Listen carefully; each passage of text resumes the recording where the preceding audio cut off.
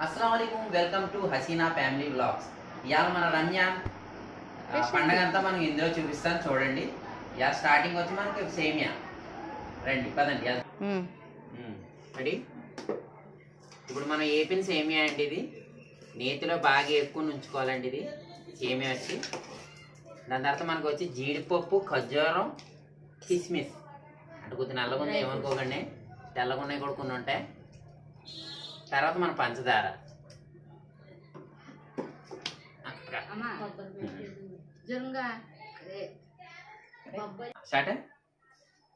Hi అండి.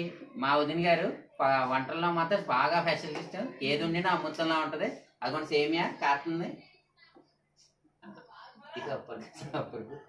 అదిగోండి. పాలు అందులో మనకు సేమియాలు అన్నీ వేసి అదే సగ్గు బియ్యం వేసి కొబ్బరి పేస్ట్ కూడా వేస్తారు అందులో. మన ముస్లిం సా- సేమియాలు అండి ఇవి. చాలా బాగుంటది. ఇప్పుడు మనం సేమియాలు వేసుకుంటున్నాం. సేమియా వేసి బాగా తిప్పాలి. బాగా అటు ఇటు అటు ఇటు తిప్పాలి. ఉదయం గారు ఉండే వంట ఏదైనా అదిరిపోద్ది. ప్రతి పండగ ఇక్కడే చేసుకుంటుంటాం మేము. అంటే ఇంట్లో ఉండే అని లోపుకి మనకి ఇలా గిన్నెలో కడీలు కొద్దిగా నల్లగా ఉంటాయి పట్టించుకోకండి.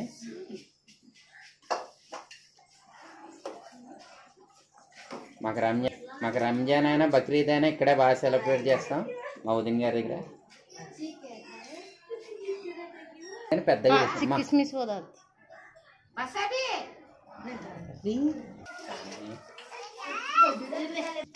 ఇప్పుడు మనం జీడిపప్పు బాదం పప్పు పిస్తా పప్పు ప్లస్ కిస్మిస్ అన్నీ అందులో వేసి మిశ్రమం అంతా కలుపుతారు ఇప్పుడు.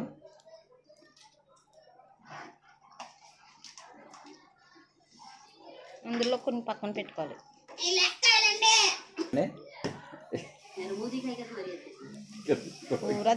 హసే హాయ్ బోల్. హాయ్. హాయ్ బోల్ మా చిన్న వదిన గారండి అప్ప హాయ్ బోల్ అప్ప.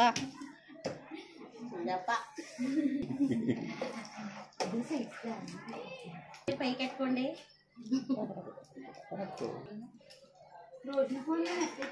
గుడికెళ్ళకు కూడా.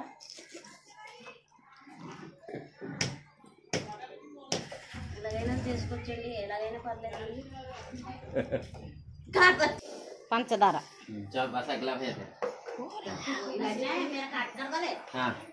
ఇదిగోండి మన యాలక్కాయలు పొడండి ఇది. ఇది కూడా వేసి బాగా మిశ్రమం కలుపుకోవాలి. పంచదార. పంచదార వేసాం మనకి తగినంత?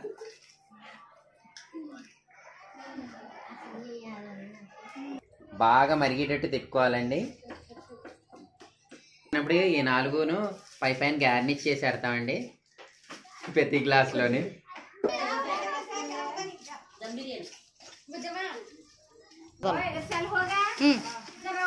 అండి. సేమ్ ఇప్పుడు మొత్తం బాగా మరిగిపోయింది. ఫుల్ టేస్టీ టేస్టీగా తయారైంది. ఇదిగోండి. ఫుల్ సేమియా.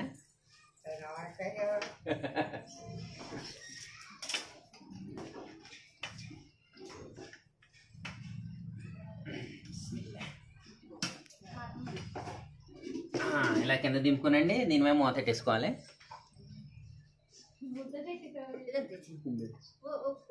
ఇది మన రంజాన్ సేమియా అండి. ఇంటింటికి మనం ఇలా పంచి పెట్టుకుంటాం ఇదిగోండి ఒకసారి చూసుకోండి. 啊！